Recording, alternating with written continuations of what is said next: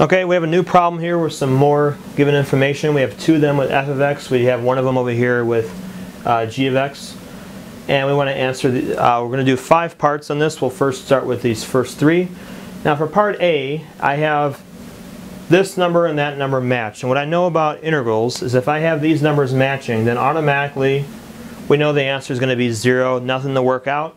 Doesn't matter if I have f of x or g of x. These numbers are the same, automatically I'm going to get 0.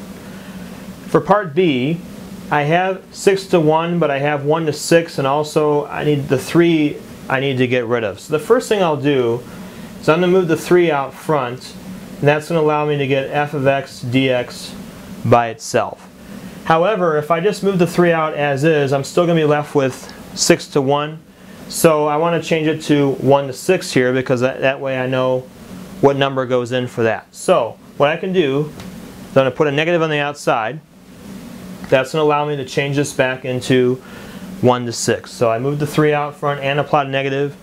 That allows me now to plug in a number for this. So from 1 to 6 f of x dx, I know that's exactly equal to 5. Therefore, negative 15 here is going to be the answer for part B. Now, for part C, what I have to do is this is going to involve the property where I break the limits up into two different things. So what I know about this is if I go from 1 to 3 and then 1 to 6, I know that I'll, I'll basically be adding those together and I can get the integral all the way across. Now, I don't want 1 to 6, I want 3 to 6. So here's what I'm going to do. I'm going to write this as the integral from 1 to 6 f of x dx. But then what I'm going to do is I'm going to subtract the integral from 1 to 3 f of x dx. So it's a, it's a modification of that one property we talked about. You can break the limits up any way that you want to, but if I go from 1 to 6 and take that whole entire area, but I remove the area from 1 to 3, that's going to leave me with 3 to 6 left over. The, uh, the logic for that is you can go from 1 to 3 and then from 3 to 6 that's going to get you the whole entire interval. So, so basically if I take this and I move it across the equal sign I'll basically get the same property I had before. So all I'm doing is using that property moving this over to here is subtraction.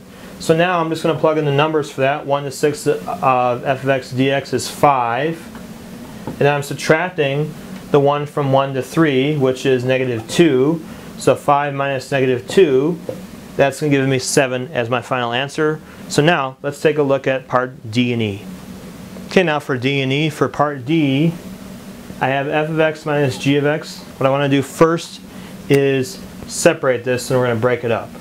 So we're going to do first, we'll do the integral from 6 to 1 of f of x minus integral 6 to 1 of g of x. And of course, I'm, don't forget to put your dx into each one of those. So now I have this written correctly. So I have dx for each one and I have a minus. Now, I don't have 6 to 1, I have 1 to 6. So once again, if I want to change that, I'm going to just put a negative sign out front so I can change that back over into something where I can get the numbers exactly. If I change this one, that's going to change that outside one to a plus.